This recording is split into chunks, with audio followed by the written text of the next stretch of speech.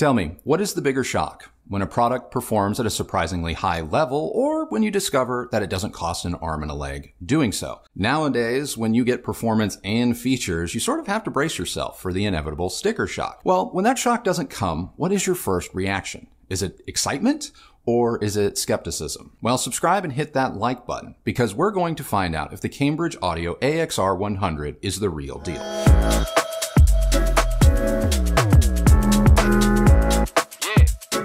Now, before I jump into the review really quick, it has been crazy stormy weather in Texas for almost two straight weeks. So I'm going to do my best to kind of EQ out any thunder and lightning. But if you happen to hear a little bit of rumbling, it's not in your head. It's not your speakers. It is the crazy Texas weather. And I just wanted to throw that out there. I apologize, but I can't control mother nature. So on with the review. The AXR100 stereo receiver is the brand's top of the line entry level component. The AX series has two integrated amplifiers as well as two stereo receivers. Now, I'm also going to be discussing the AXA35 integrated amplifier briefly in this review a bit later, so stay tuned for that. But getting back to the AXR100, it boasts 100 watts per channel into 8 ohms. It has two sets of binding posts, allowing for you to connect two pairs of speakers, either in the same room or a different one. It features a built-in DAC with both coaxial and optical inputs. It also has a built-in moving magnet phono preamp, Bluetooth, as well as a subwoofer out, and of course, AM FM tuners. Now, in terms of design, the AXR100 is a Cambridge audio product through and through. I have always appreciated the brand's focus on industrial design. They always nail the appearance of their products, and the AXR100 is no exception. The fact that they don't skimp on their more budget-friendly components helps them stand out from the other brands everything, and I mean everything about the AXR 100 and even the AXA 35, its less expensive sibling feels premium and far costlier than their asking price. Setting up the AXR 100 is pretty straightforward. First time enthusiasts or those looking for a little less hassle from their equipment will appreciate the R100's ease of use. In order to test the AXR 100's phono preamp, I used our Audio Technica LP140 XP with the Ortofon 2M black cartridge for a bit before ultimately swapping it out for my Cambridge Audio Alva TT, which obviously has its own built-in phono preamp. This allowed me to connect the Alva to one of the amp's line level inputs the same way I would, say, a CD player. I also connected our Arylic S50 Pro to the AXR100's internal DAC in order to test it via an optical cable. To test the Bluetooth functionality, I used my iPhone, and pairing was straightforward, and once connected, it was 100% rock solid and reliable. Now for speakers, I ran the Monitor Audio Bronze 100s, a secret pair of speakers from Sonus Faber, as well as the KLH Model 5s, before ultimately settling on the Wharfedale Evo 4.1 monitors. I did use a subwoofer for a bit, the SVS Micro 3000, and found that connecting it to the AXR 100 was easy as connecting the rest of my associated equipment. Now for more on these components, as well as anything else that you may see in this video, links as always are in the description. Now, as for sound quality, the AXR 100 is shocking. It's not every day that you come across a product that performs at such a high level while not really doing anything overtly wrong. Is the AXR 100 perfect? No, but it manages to get more than 90% of what I look for in a hi-fi product right, daring you to ask yourself, what more do you really need? Now let's start with the bass. No matter what speaker I paired with the AXR 100, I always felt as if I was getting the deepest bass from that speaker. Maybe not the most taut or detailed by comparison to say the Rotel A11 Tribute or my musical fidelity M5SI, but depth, you know, the reach down low, the AXR 100 went toe to toe. What's more, the 100's mild weight gain may not have possessed the absolute reflexes I look for in costlier components, but it wasn't as sluggish as the Denon PMA 600NE was when listening to the same speakers. Like I said, the AXR 100 gets the vast majority of the sonic picture right, at least with respect to bass. As for the all-important mid-range, I really liked the AXR 100's performance. The mild bass bump lends a sense of weight to the mids, especially vocals, which made rougher or live recordings just a touch more palpable. The AXR 100 isn't outright warm or lush. It still has a relatively neutral demeanor, but when listening to vocals from, say, Alanis Morissette, Fiona Apple, or Dua Lipa, the Cambridge well, they, it reined them in ever so slightly. Now, one of the more obvious ways you can sense this has to do with enunciation and inflection. Because the mids are just a little bit smoother, vocal inflections are more subdued, and as a result, some lyrics may remain discernible, just not as intelligible as they may be through other amplifiers. For example, in Dua Lipa's song Hallucinate, the word hallucinate isn't as pronounced through the AXR 100 as it is through other amplifiers. Rest assured this mild smoothing isn't going to outright change your favorite tracks, nor will it make an alto saxophone suddenly sound like a tenor or something like that. It's just a little something that I noticed. Now, in terms of high frequencies, the AXR 100 has extended highs with the ability to reach all the way up to 20 kilohertz or the threshold of human hearing. But like the bass, the AXR 100 doesn't always have the most absolute control over those highs as you may find with other amplifiers.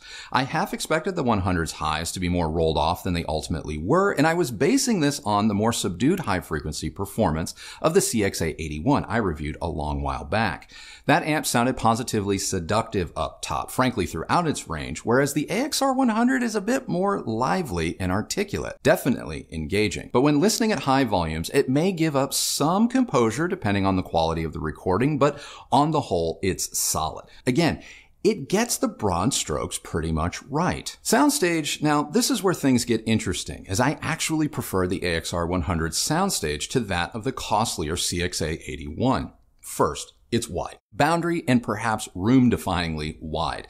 Depth isn't as great, but as a result, the whole presentation feels more immediate and present rather than recessed, and I, I liked that. That said, the AXR 100 soundstage, while vast, isn't as intricately detailed as you're going to get from costlier components.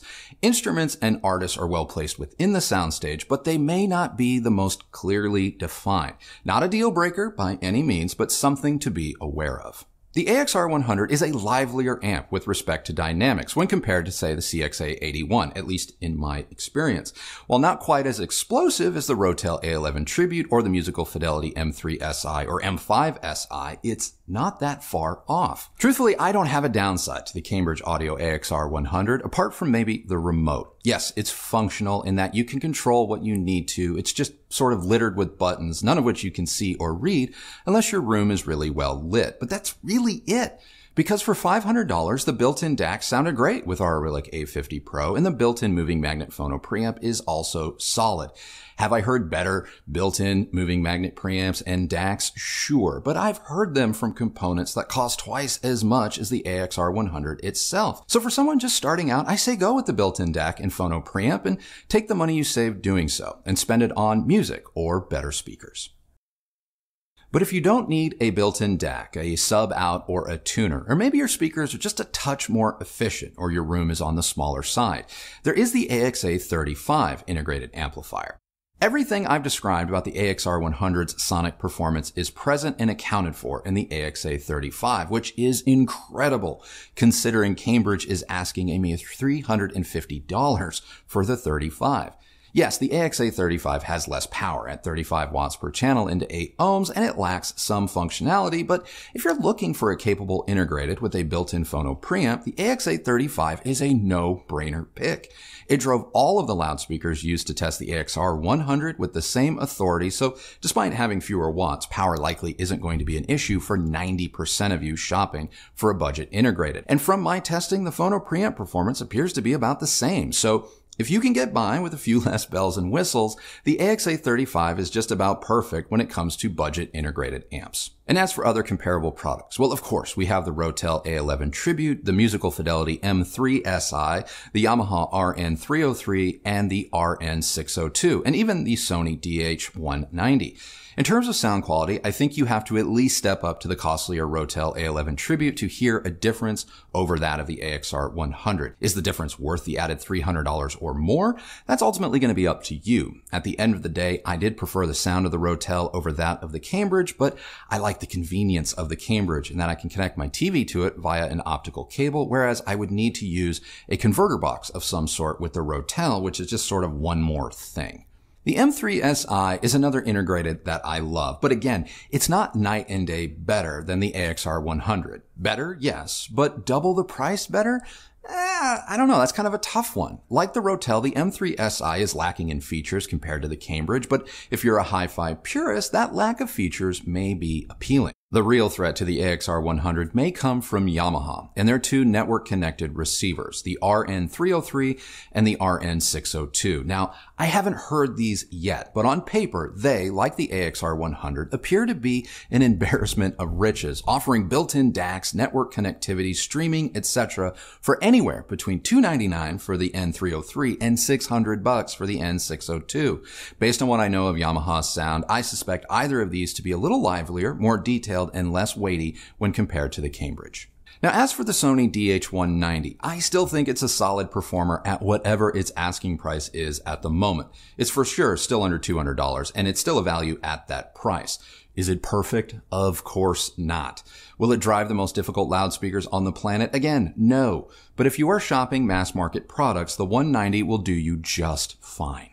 The Cambridge Audio AXR 100 and AXA 35 are both proverbial home runs in my book. I love them, and they represent two of my favorite components from Cambridge at the moment, apart from my Alva TT turntable, of course. You want to hear something really crazy? I actually like listening to the AXR 100 with my Arylic S50 Pro more than the costlier Cambridge Evo. Sorry. so if you've been looking for a full featured stereo integrated amplifier or receiver that doesn't cost an arm and a leg, one that also sounds incredible, the AXR 100 and AXA 35 are my go-to picks now under 500 bucks. So that's it. That is now my review of the AXR 100 from Cambridge Audio. Now it's time to find out what Christy thinks. Well, I think you're spot on about the design. I love it. The quality is really really difficult to beat for the price. Mm-hmm. Um, and you know, to be honest, this is this was one of the first times I found myself actually really enjoying the Cambridge audio sound. For me, I tend to find it a bit too laid back. Okay. Um, so it's I I have never I've never really loved any of the Cambridge audio products, at, at least the uh, the amplifier um, the amplifiers. Yeah. You know, I love the turntable. It's amazing. Um, and there's, you know, the Evo, I wanted to like it, but it just, ultimately, I didn't think the sound was what you me. were looking for. Yeah, yeah totally. Um, now, my only, I, I vary from you a, a bit in terms of your feelings on, uh, the, the, the less expensive piece, the AXA 35. Okay. For me, I thought the AX, the AXR 100 was hands down far better. And I noticed the difference in the uh, sound quality pretty significantly, um, for me at least. Mm-hmm. I thought there was a more of a jump in uh, sound quality than I think you you thought.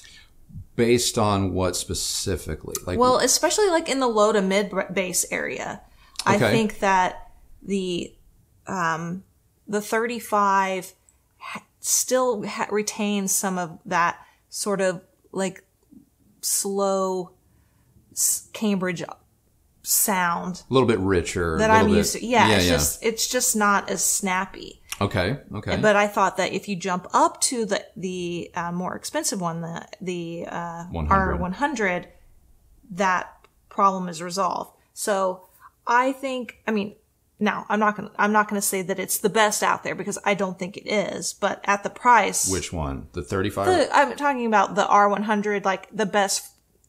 It was, it resolves the issue I have with the 35 in the bass, the low to mid bass department. Mm-hmm. But I'm not going to say that the R100 is, you know, perfect because, no. and as you said, it's, it's, it isn't, but at the price. It gets a lot. Really good. Yeah. It's really good. But. Yeah my point was the point I'm trying to make is that I thought there was a more of a um, separation in the two than I feel like you are saying in in the review.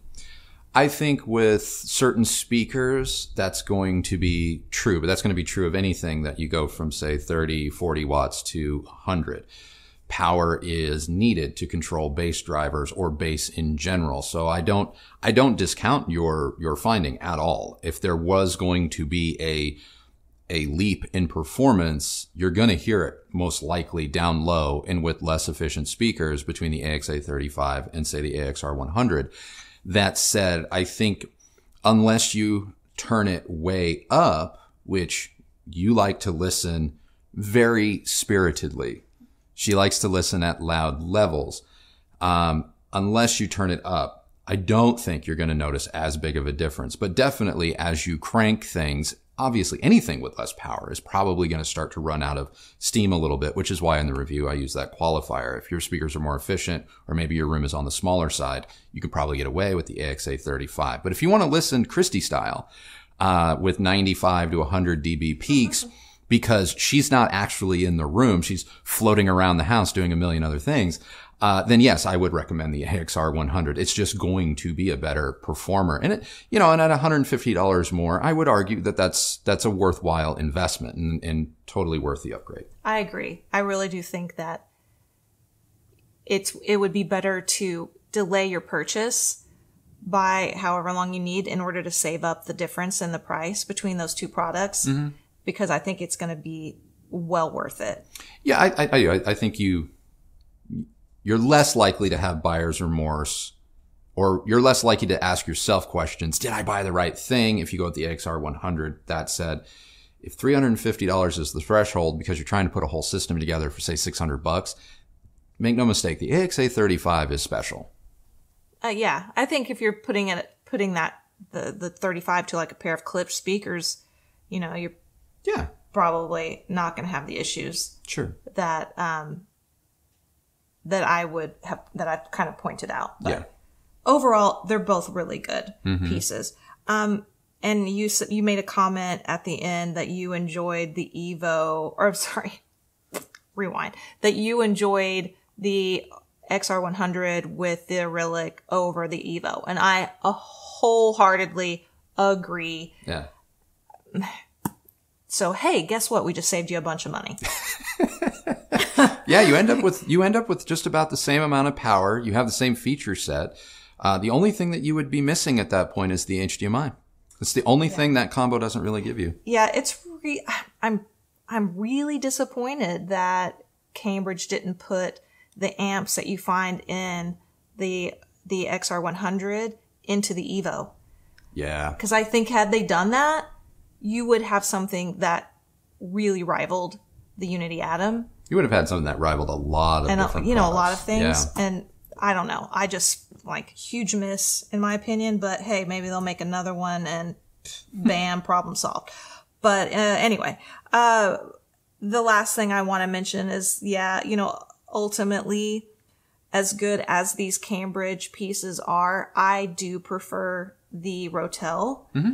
Uh, tribute. I just I like that sound better. So if you guys have that extra 300 350 or whatever it is to i think it's 300 to spend i think well i guess it really depends on what kind of listener you are i it mean does. if you're like me and you like something a little bit uh, livelier then i i would save up and go for the rotel if not then i you know i think you'd be okay i mean look to be honest had i not heard the rotel and we had only these two Cambridge pieces in house, I probably don't, I don't think I would feel like something was missing mm-hmm. because when we first, when we first got the Cambridge, um, the R100 and the 35, I was like, whoa. Yeah. These are good. Yeah. You really liked them. Yeah. I really liked them. Yeah.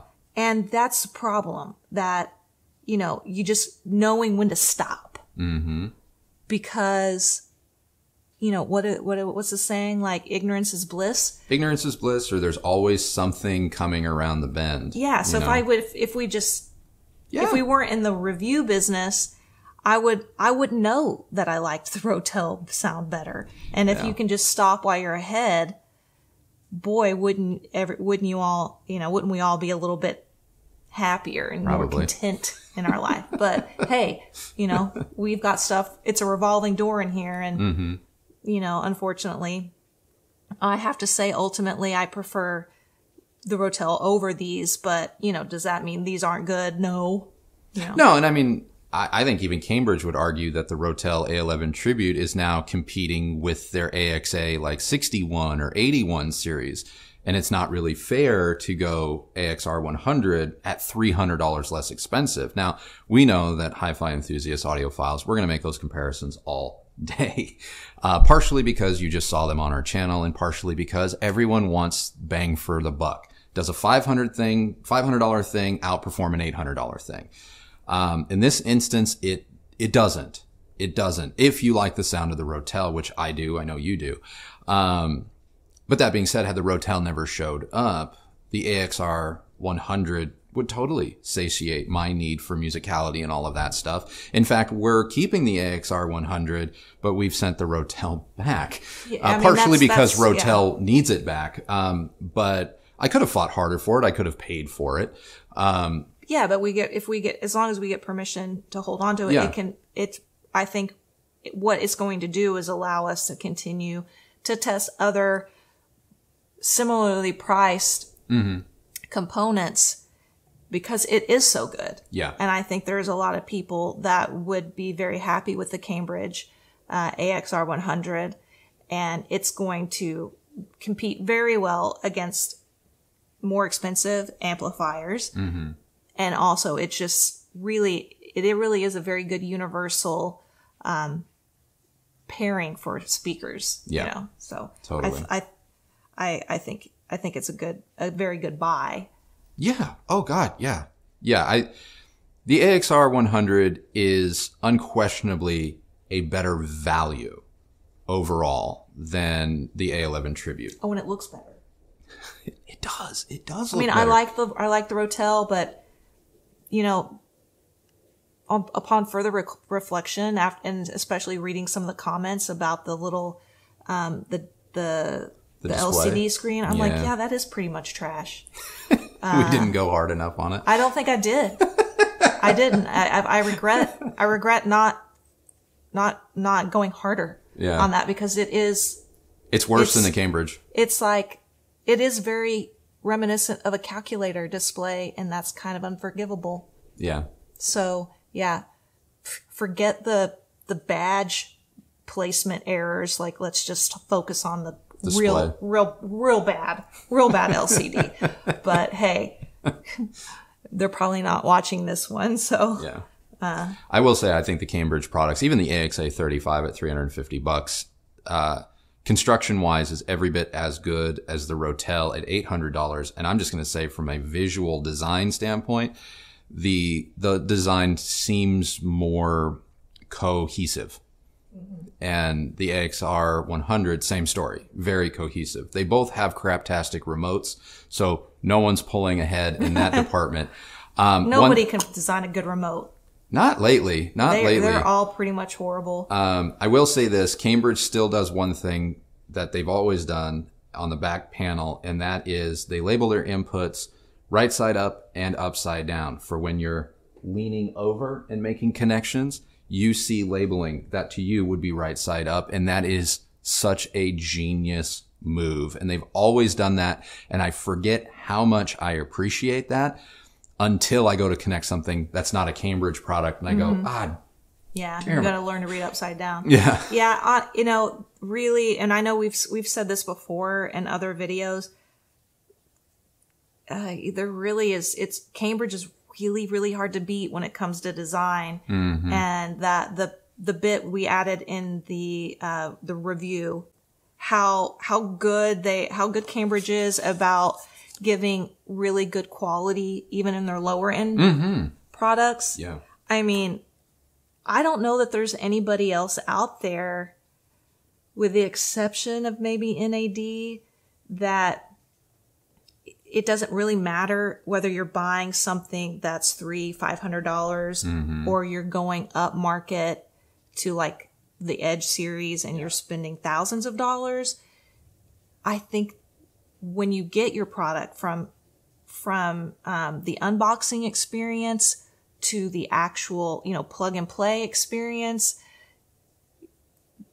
you can tell that they really care about their design and and you as a customer mm-hmm. you know i i don't, and maybe this makes people that spend the $3,000, $5,000 feel a little bit more butthurt over it, but you know, they're, you, you feel like I'm important, whether I'm spending $320 or- or, the $3,000. And I think that's really awesome. Yeah. And not a lot of companies do that these days. No, no. You see corner cutting every chance you get, and Cambridge just doesn't seem to be doing it. And that is one of the things that, whether I- some of their products maybe hit or miss with me, but why I always go back to them because, I I have a ton of respect. for yeah, yeah, I have a ton of respect for them, and I also have a just ton of respect for the brand because their Evo's their brand new baby, and we arguably were pretty critical of it, and yet they haven't turned their back on us or the customer. You guys, the viewer, they've re-upped. They're like, hey, uh, anything else you guys want to talk about? I mean, they get right back on the horse, and that is not only refreshing, but that tells you a lot about what you can experience or expect in your user experience yourself, not just us as reviewers. So I, yeah, I haven't always been the biggest fan, but they make enough great stuff. And even when it's not my cup of tea, I can appreciate so much of what they do that I'm like, damn, damn. I, Yeah, mad respect. yeah, total props, total props. So anything else? Nope.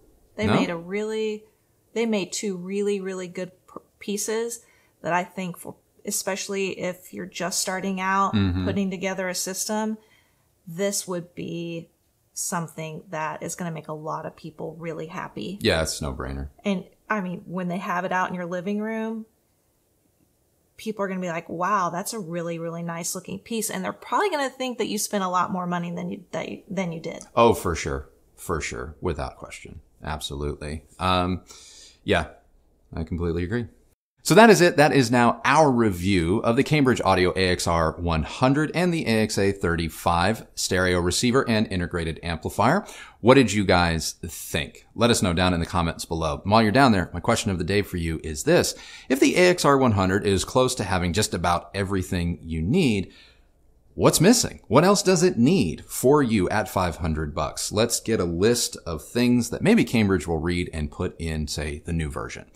Uh, if you like this video, please do give it a thumbs up, like, and subscribe. Ring that bell so that you're notified when new videos come out. Our June schedule is going to be a little bit wonky. We're going to try and take a vacation. First one in years. Uh, so there may not be uploads as regularly, but we're working really hard to make sure that you guys don't have to go without. But ring that bell so that you're notified when new videos come out. And also become a subscriber now. Uh, we're nearing, uh, 200,000 subs and all I can keep saying is that's an episode you're not going to want to miss when we hit 2,000, 200,000 subs, not 2,000, 200,000 subscribers. Uh, you're not going to want to miss that one. It's, uh, it's, it's a big deal and it's, it's a big deal not only for us, but it's actually going to be a bigger deal for you guys, the viewers, but you have to be subscribed. So please subscribe today. Uh, if you use any of the links that Christy left for you down below, know that that is a great way that you have continued to show your support for this channel and the work that we do here. And we both thank you all very much for doing that. You can follow me on Instagram for more behind the scenes stuff at recovering audiophile. And that is it. Again, I apologize if any thunder or lightning or rain noises got into the mix. I'm going to do my best in post, but if I didn't, bear with me. I don't control the weather. So with that said, you all know the drill. The only person who has to like the sound of your system is you. So happy listening, everybody. Thank you again for watching, and we will see you on the next video. Bye.